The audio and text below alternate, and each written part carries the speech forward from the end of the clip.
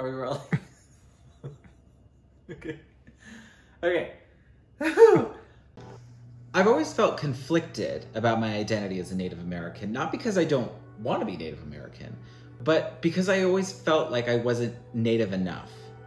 It's true, I'm a member of the Pala Band of Mission Indians, a Southern California based tribe that are descendants of the Luiseño and Cupeño people. And I'm really proud of that. And I'm really close to my tribe. I've known that I was Native since I was very young.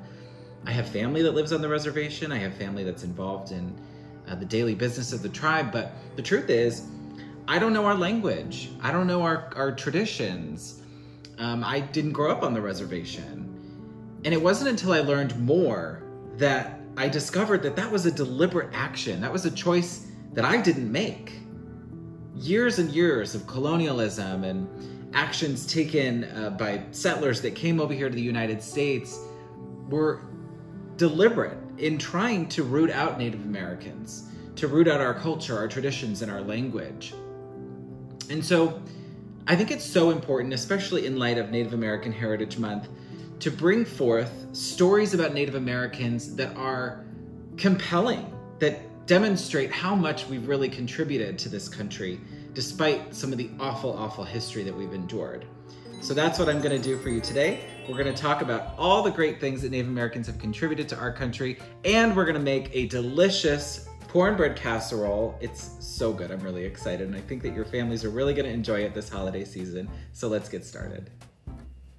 First, I'm to stem about a half a tablespoon of fresh thyme.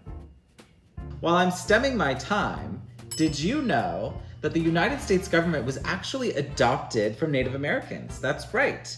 Benjamin Franklin said that the idea for a centralized federal government, while leaving some powers reserved from the states, was actually adopted after the Iroquoian League of Nations. Yes, go natives, right?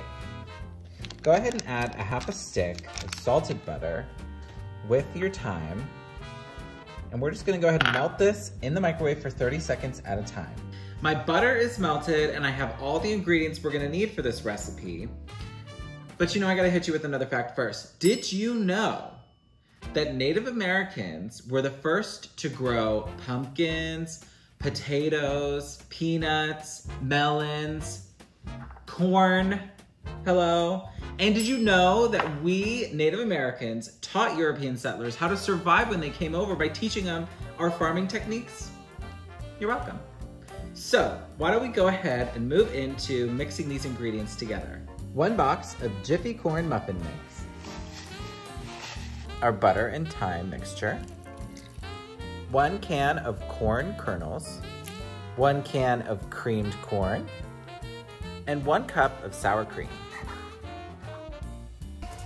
Hashtag whiskin! It's whiskin time.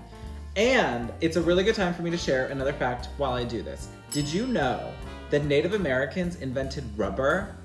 I didn't even know that.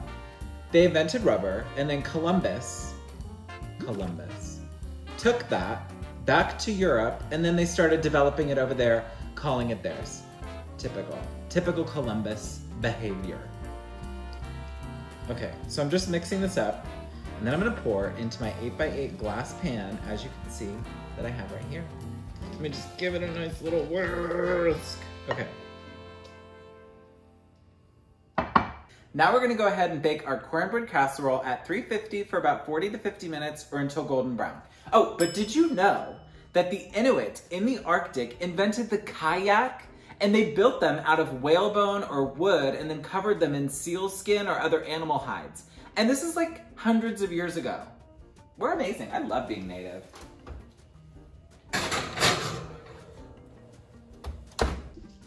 Okay, the cornbread is baking and it looks really good. Isn't it cute that we're making like a cute little cornbread on a Native American episode? It's cute. Thanks for the corn natives. Okay, while it bakes, I'm gonna go ahead and show you how to make the delicious honey glaze that's gonna go on top. But first, did you know that the Incas of South America developed cable suspension bridges?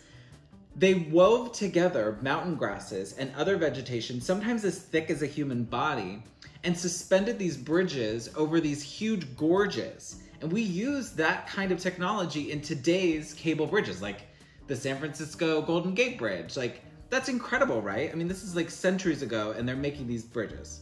We're amazing. Okay, let's go ahead and make this honey butter. I have a quarter cup of my salted butter here. I have a half of a tablespoon of powdered sugar. We're just gonna go ahead and pop that in. And then we're gonna do a tablespoon of honey. I have just like some raw, unfiltered honey. The good stuff, the expensive stuff, actually. We're just gonna go ahead and do, like I said, a tablespoon. Okay, that's good. We'll let that go in there. That's gonna like take a second to come out. Hmm. I'm just gonna do a pinch of nutmeg. That'll probably do. We're gonna go ahead and mix this up just with the fork here. My butter is a little bit soft already. And while I'm doing this, what a great moment to share fact number six with you.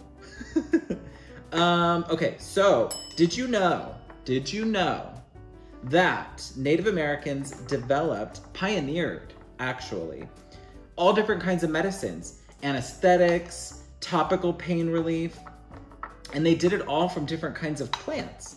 They also made a needle, like a, you know, like a syringe, out of animal bladders and hollow bird bones.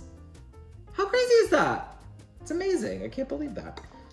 Okay, so the butter is looking really good.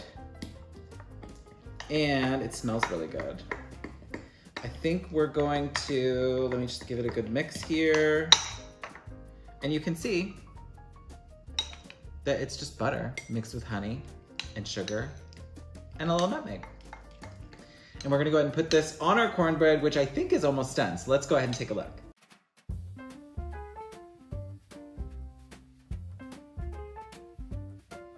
We did it, our cornbread casserole is done and it looks really good. I went ahead and just topped with a little bit of our honey butter. I added a little extra honey and then garnished with some thyme. It looks really good and I'm dying to try it. But before I do, thanks so much for joining us here on The Sugar Treatment where we bake and heal together. My name's Anthony, AKA The Baking Social Worker. If you haven't already, make sure you subscribe to my channel, like this video, and please comment below. Let me know how yours turned out. I'm also gonna leave some resources in the description below in honor of Native American Heritage Month, so make sure that you check those out.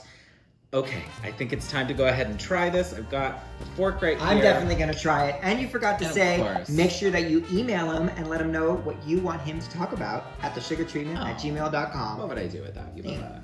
Okay, thank you. Oh my gosh. Keep it sweet.